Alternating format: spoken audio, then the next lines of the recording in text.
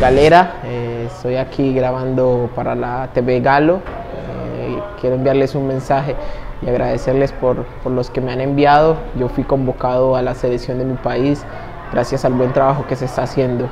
Un abrazo, Dios los bendiga.